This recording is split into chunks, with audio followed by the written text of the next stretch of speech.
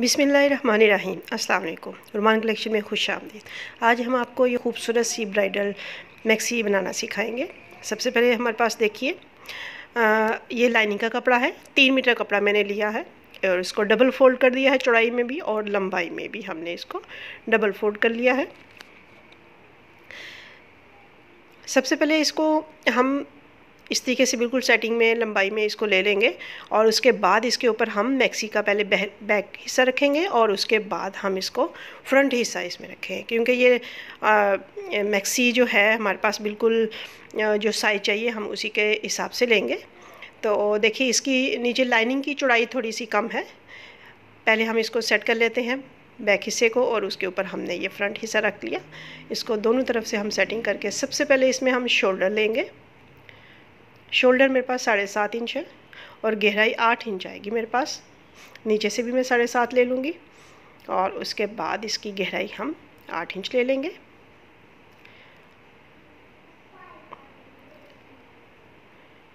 और कमर मैं ले लूँगी यहाँ से पंद्रह इंच और इस पर ये तकरीबन जो एम्ब्रॉयडरी हुई है, ये मेरे नाप के मुताबिक है। तो यहाँ हम जो लूँगी, इसमें जो सिलाई का हक है, वो इसमें एम्ब्रॉयडरी के अलावा हट के होगा। ये डेढ़ से दो इंच हम ब्राइडल में लेते हैं।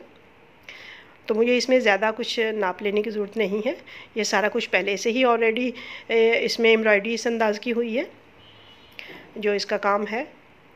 और गिरबान में भी इसके मुताबिक देखें अलग से कुछ भी नहीं हमने इसमें करना इसको पलट लेंगे इसमें हम इसकी लाइनिंग के साथ स्टिचिंग स्टिचिंग कर लेंगे हम इसको और साइड की भी सिलाई इसके बिल्कुल एम्ब्रॉयडरी के साथ हो जाएगी। आ, बिल्कुल इसमें हमारे नाप के मुताबिक है ये। सबसे पहले इसको हम कटिंग करेंगे शोल्डर से। शोल्डर से थोड़े से यहाँ इसमें जो बीट्स हैं वो हमारे हटाने, हमें हटाने पड़ेंगे। सिलाई इसमें नहीं होगी। बाकी हमारा इसमें कुछ भी इसमें अदर करने की ज़रूरत नहीं होगी हमें। और अगर कभी हमें नाप में कमी बेशी हो तो हम इसके बीट्स और जो इस टाइप का मटेरियल होता है, वो हटा लेते हैं। देखिए, इसमें एम्ब्रॉयडरी से हट के मैंने दो दो इंच इस पर कटिंग कर ली है। और जो ऊपर से हमारे पास लाइनिंग का कपड़ा था, उसको देखिए यहाँ से हमारे पास लाइनिंग का कपड़ा जो है, थोड़ा सा चौड़ाई में कम है। तो यहाँ शोल्डर के पास से जो हमें मिला कपड़ा, वो हम इसके साथ अटैच करके और इसको मैक्सी के मुताबिक हम कटिंग कर लेंगे।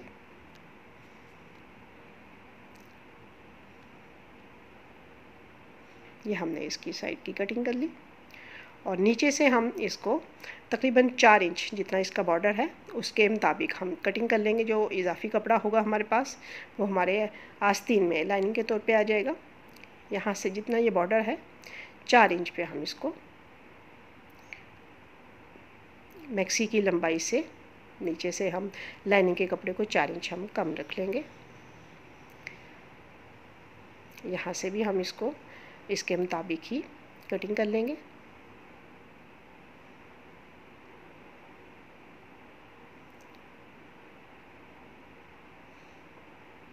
ये। इसमें हमने जो स्टिचिंग करनी है, सबसे पहले हम जो इसमें लाइनिंग के, ये जो हमारे पास कपड़ा है, इसको हम आस्तीन में यूज़ करेंगे आस्तीन की लाइनिंग में। आस्तीनें हम डबल कर लेंगे। और आगे से एम्ब्रॉयडरी हम बिल्कुल बराबर करके मैं इसमें क्वार्टर लूँगी आस्तीन अठारह इंच लेंथ लूँगी।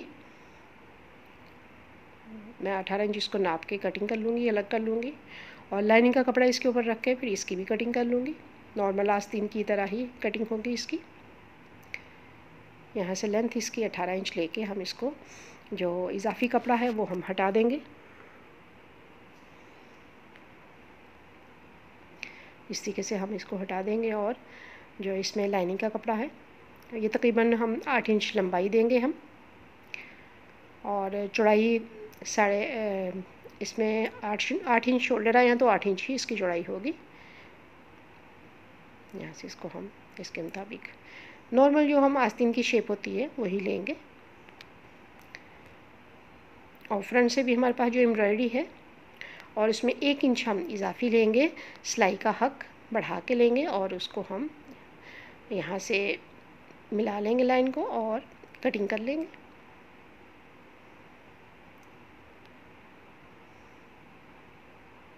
ये हमारी आस्तीन भी कटिंग हो गई। देखिए, सबसे पहले हम मैक्सी को हम हटाएँगे और इसमें जो लाइनिंग का कपड़ा है, इसको हम यहाँ जो इसको ज्वाइन करना है, सबसे पहले वो हम सिलाई करेंगे। दोनों तरफ़ से हम इसको लेके स्टिचिंग कर लेंगे। ये, दोनों पार्ट्स की स्टिचिंग कर लेंगे। और फिर इसको हम, इसका अगला काम करेंगे। देखिए, ये हमने लाइनिंग में कपड़ा अटैच कर लिया। जो हमारे नीचे साइड का था और इसको हम अच्छा सा खोल के प्रेस भी कर लेंगे कि ये जो अलग से दिख रही है इसकी सिलाई तो वो बिल्कुल भी ना दिखे। दूसरी तरफ़ से भी हम देखें, सिलाई कर चुके हैं। अब हमने ये करना है कि लाइनिंग के कपड़े को ऊपर की तरफ़ उल्टा रखेंगे और जो हमने इसके ऊपर इसकी मैक्सी लेनी है तो मैक्सी का सीधा हिस्सा ये अंदर की तरफ़ रखेंगे। लाइनिंग उल्टी है। देखिए, इस अंदाज में इसको हम ले लेंगे। क्योंकि इसमें हम फ्यूजिंग के साथ गिरेबानी बनाना है, जो हमारे पास एम्ब्रॉयडरी हुई है, इसके मुताबिक हम इसको बिल्कुल बराबर से स्टिचिंग कर लेंगे और एक बूट के फासले, हमने ये स्टिचिंग कर ली और एक बूट के फासले से हम इसको कटिंग कर लेंगे गिरेबान को। यहाँ से एक बूट के फासले से हम इसको ये कट कर चुके और इसमें हम छोटे छोटे बीच में कट दे लेंगे गिरेबान में, यहाँ से। गोलाई जो हम इसमें फ़ोल्ड करेंगे गिरबान को तो वो उसकी गोलाई जो है ना, वो अच्छी तरीके से बैठ जाएगी। देखिए, इस अंदाज में हमने इसमें कट भी लगा लिया सिलाई करने के बाद। अब इसको हम पलट लेंगे, सीधा कर लेंगे। इसको यहाँ से बिल्कुल इस अंदाज में सीधा कर लेंगे। और सीधा करने के बाद देखिए, इसको बिल्कुल बराबर करके सेटिंग कर ली।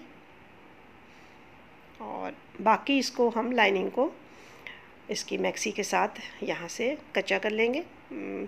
आप इसको स्लाइस सुई से भी कर सकती हैं और मशीन से भी कर सकती हैं। इसको बिल्कुल बराबर करके इसको हम कर लेंगे कच्चा। इसी अंदाज में हमने बैग को इसके ऊपर रख के कच्चा कर लिया और गिरबान, तीन इंच चौड़ाई में गिरबान कटिंग करके हम इसमें उड़े पट्टी लगा लेंगे। फ्रंट की तरह हमने पलटा नहीं है इसको ऊपर ही रख के, क्योंकि वो गिरबान बना हुआ था, इसलिए हमने इसको पलट लिया था। अब इन दोनों को हम यहाँ से अटैच करेंगे। सबसे पहले हमारे ये शोल्डर अटैच हो जाएँगे। बैक का गिरेमाल अभी हमने नहीं फोल्ड किया, मोड़ा नहीं है। ये शोल्डर स्टिचिंग करने के बाद, देखिए, इस अंदाज में इसको स्टिचिंग करने के बाद ये हम फोल्ड करेंगे और साइड की सिलाई करके नीचे लाइनिंग की भी सिलाई कर लेंगे और मैक्सी को फोल्ड कर लेंगे। आस्तीन को इस तरीके से हमने इसमें अटैच करके लाइनिंग इसकी स्टिचिंग कर ली और इसको हम साइड में इसमें अंदर ले जाके इसको स्टिच कर लेंगे और हमारी मैक्सी बहुत अच्छे तरीके से, आसान से तरीके से कोई भी इसको बना सकता है, आराम से बन जाएगी। हमने सीधा कर लिया, अंदर हमने फ्रंट में भी कपड़ा लगा लिया और इसको हम स्टिच करके इसके साथ अटैच कर लेंगे। इस अंदाज में हमारी ये खूबसूरत सी ब्राइडल मैक्सी तैयार है। वीडियो देखने का बहुत शुक्रिया।